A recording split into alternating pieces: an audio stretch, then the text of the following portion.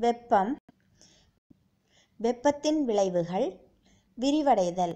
ஒரு பொருளை வெப்பப்படுத்தும் போது அந்த பொருளிலுள்ள மூலக்கூறுகள் அதிக ஆற்றலை பெற்று அதிர்வடையத் தொடங்கும். இதனால் அருகில் இருக்கும் மூலக்கூறுகளும் அதிர்வடையத் தொடங்கும். எனவே விரிவடைதல் ஏற்படுகிறது. வெப்பநிலை மாற்றம். ஒரு பொருளுக்கு வெப்ப ஆற்றலை அளிக்கும்போது அந்த பொருளில் உள்ள மூலக்கூறின் இயக்க ஆற்றல் அதிகரிக்கிறது.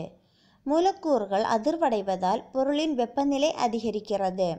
அந்த பொருளை குளிர்விக்கும் போது வெப்ப ஆற்றல் வெளியேறி அதன் வெப்பநிலை குறைகிறது. நிலை மாற்றம் பனிக்கட்டியை வெப்பப்படுத்தும் போது அது நீராக மாறுகிறது. மேலும் வெப்பப்படுத்தினால் நீர் ஆவியாக மாறுகிறது. ஆகவே திடப்பொருளை வெப்பப்படுத்தும் போது திரவப் பொருளாக மாறுகிறது. மேலும் வெப்பப்படுத்தும் போது அது வாயு நிலைக்கு மாறுகிறது. வெப்பநிலையை குறைக்கும் போது தலைகீழ் மாற்றம் ஏற்படுகிறது. வேதியியல் மாற்றம். வேதிவினைகள் தொடங்குவதற்கு வெப்ப ஆற்றல் தேவைப்படுகிறது. அதுபோல வேதிவினைகளின் வேகத்தையும் வெப்ப ஆற்றலே முடிவு செய்கிறது. வெப்பம் பரவுதல். ஒரு பொருளில் இருக்கும் வெப்பமானது அதே இடத்தில் தங்கியிருக்காது. அதிக வெப்பத்தில் இருக்கும் பொருட்கள் வெப்பத்தை இழந்து குளிர்வடையும். அதுபோல குளிர்ந்த பொருட்கள் சுற்றுப்புறத்திலிருந்து வெப்பத்தை பெற்று வெப்பமடையும். வெவ்வேறு வெப்பநிலையில் உள்ள இரண்டு பொருட்களை ஒன்று சேர்த்தால் அதிக வெப்பநிலையில் இருக்கும் பொருளிலிருந்து குறைந்த வெப்பநிலையில் உள்ள பொருள் வெப்ப ஆற்றலை ஏற்பதால் அதன் வெப்பநிலை உயரும்.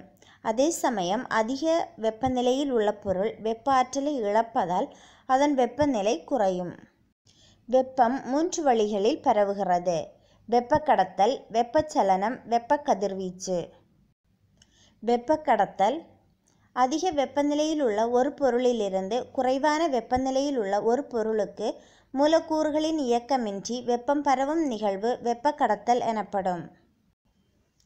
வெப்பச்சலனம் ஒரு திரவத்தின் அதிக வெப்பமுள்ள பகுதியிலிருந்து குறைவான வெப்பமுள்ள பகுதிக்கு மூலக்கூறுகளின் உண்மையான இயக்கத்தால் வெப் வெப்பம் பரவுவது வெப்பச்சலனம் எனப்படும். வெப்ப கதிர்வீச்சு எந்தவொரு பருப்பொருளின் உதவியுமின்றி வெப்ப ஆற்றல் ஒரு இடத்திலிருந்து மற்றொரு இடத்திற்கு பரவுவது வெப்ப கதிர்வீச்சு எனப்படும். வெப்ப கடத்தலும் வெப்பச்சலனமும் வெற்றிடத்தில் நடைபெறாது. அவைகள் நடைபெற பருப்பொருட்கள் தேவைப்படும். ஆனால் வெப்பக்கதிர்வீச்சு நடைபெற பருப்பொருட்கள் தேவையில்லை. இதனால் வெற்றிடத்தில் கூட வெப்பக்கதிர்வீச்சு நடைபெறும். வெப்பநிலை. ஒரு பொருளின் வெப்பம் அல்லது குளிர்ச்சியின் அளவைத்தான் வெப்பநிலை என்கிறோம். வெப்பநிலையின் எஸ்ஐ அலகு கெல்வின். வெப்பநிலை அளவீடுகள். ஃபேரன்கீட் அளவீடு செல்சியஸ் அல்லது சென்டிகிரேட் அளவீடு கெல்வின் அளவீடு அல்லது தனித்த அளவீடு. தன்வெப்ப ஏற்புத்திறன் வெப்பத்தை வெளிவிடும் அல்லது உட்கவரும் பண்பு மூன்று காரணிகளால் தீர்மானிக்கப்படுகிறது. பொருளின் நிறை பொருளில் ஏற்படும் வெப்பநிலை வேறுபாடு பொருளின் தன்மை. வெப்ப ஏற்புத்திறன் ஒரு கிலோகிராம் நிறையுள்ள ஒரு பொருளை ஒரு டிகிரி செல்சியஸ் வெப்பநிலைக்கு உயர்த்துவதற்கு கொடுக்கப்படும் வெப்ப ஆற்றலே வெப்ப ஏற்புத்திறன் ஆகும். ஒரு பொருளின் நிறை முழுவதையும் ஒரு டிகிரி செல்சியஸ் வெப்பநிலைக்கு உயர்த்துவதற்கு தேவைப்படும் வெப்ப ஆற்றல் வெப்ப ஏற்புத்திறன் ஆகும்.